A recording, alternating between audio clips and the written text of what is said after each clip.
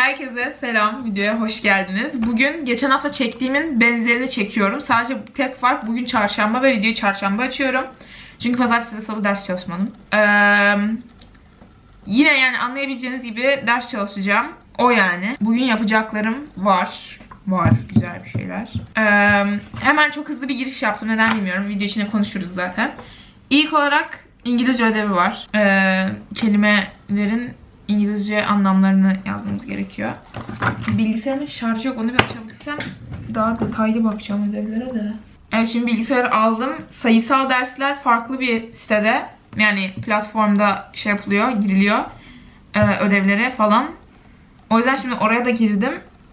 Kimyadan ödev varmış hafta sonuna ama. O yüzden bugün yapmam büyük ihtimalle yani.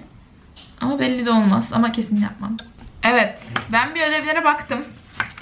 Bir şey de yokmuş. Bir İngilizce ödevim var, bir edebiyat ödevim var. Edebiyattan da intibah romanının e, bir 17. bölümüne kadar mı ne özetini yazacağım. Onu mu ilk yapsam acaba İngilizce ödevini İngilizce ödevini her türlü yaparım zaten çünkü çok kolay bir şey yani odaklanma falan gerektirmiyor. Direkt gördüğünü yazıyorsun.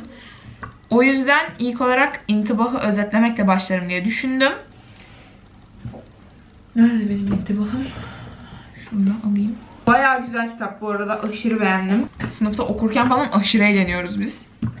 Şimdi dediğim gibi bunun ilk 17 bölümünün özetini yapacağım. Bir tık yorucu.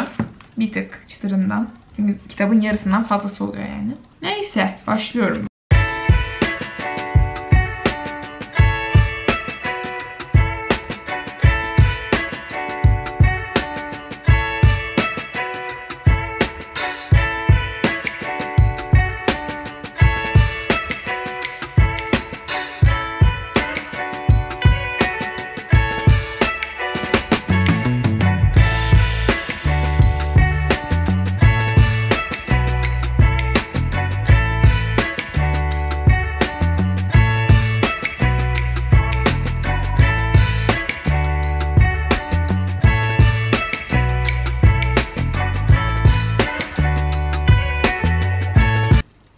Saattir falan ya da 2, 2 saat de olabilir bilmiyorum. Şu kitabın özetini yazıyorum. 3 sayfa özet yazdım. Aşırı yorgunum ve daha duşa girmem gerekiyor. Saçlarımı düzleştirmem gerekiyor. Ve İngilizce ödevini yapmam gerekiyor. Ne yapacağımı bilmiyorum. Saat 10 oldu. Ve benim 11'de yapmam lazım. O yalan yani şu anda. Dediğim gibi intibahın özetini yapıyordum. 22 bölüm zaten kitap. Ben 19. bölümüne kadar falan özet çıkardım. Okuduğumuz yere kadardı çünkü. Bu şekilde böyle ben bir de İngilizce ödevini yapıyorken çekerim. Sonra da bir sonraki güne geçeriz. Şimdi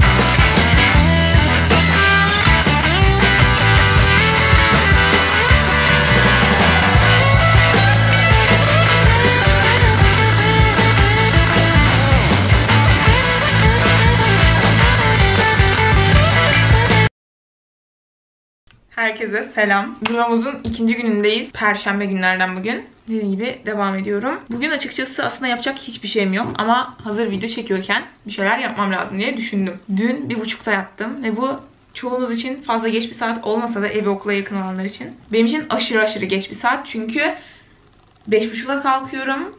Okulda bir buçuk saat yolum var falan filan derken benim max 11.30'da falan hani uykuya dalmış olmam gerekiyor ki uykumu alayım. Genelde zaten işim yoksa onda falan yatarım yani. O yüzden bir buçuk benim için çok geç bir saat.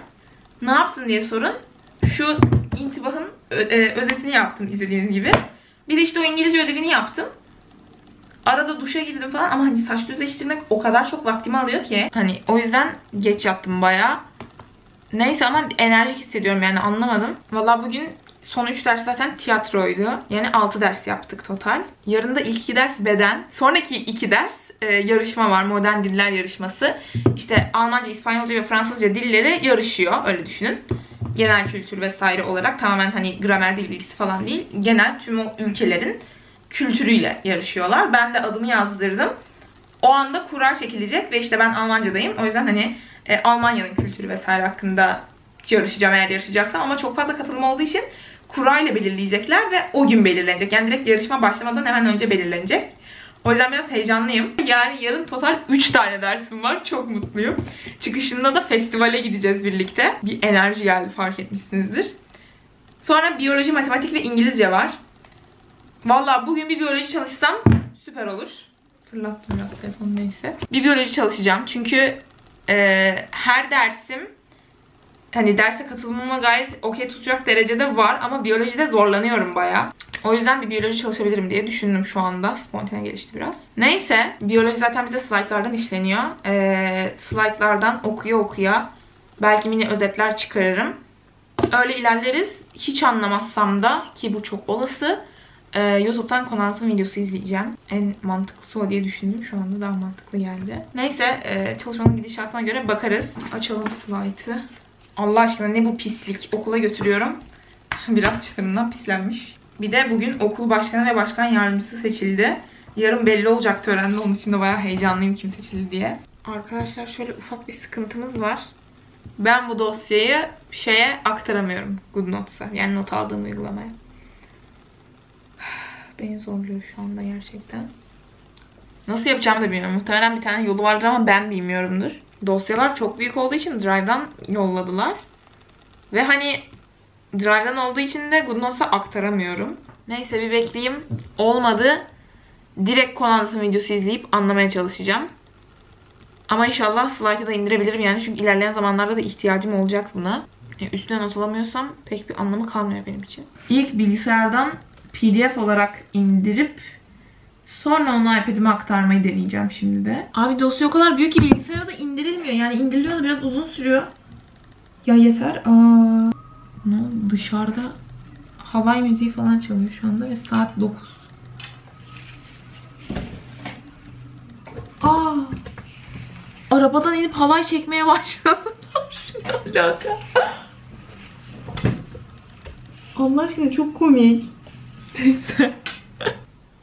Ben bir de daha şeyleri bilmiyorum. Mesela işte biyolojide hangi hoca iyidir?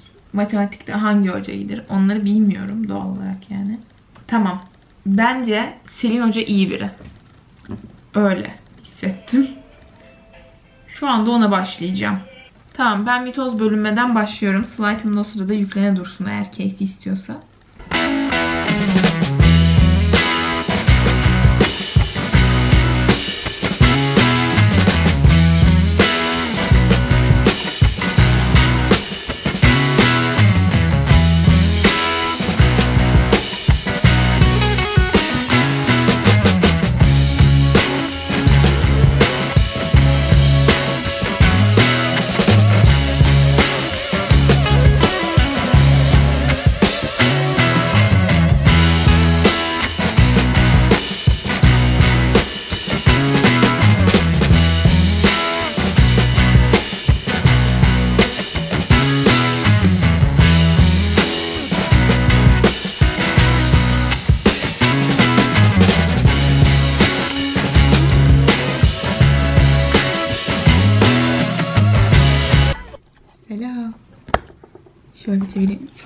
Dağılmış.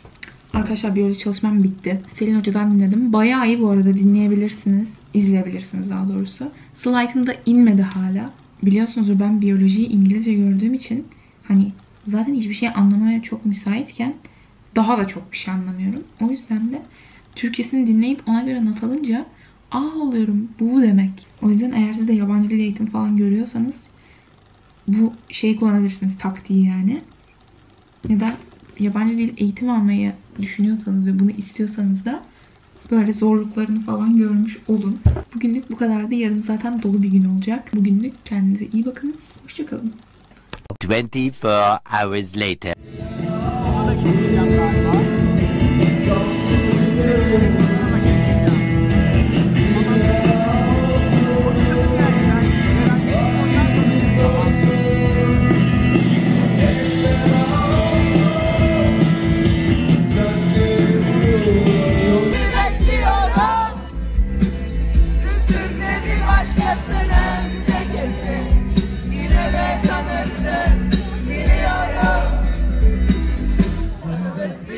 Bir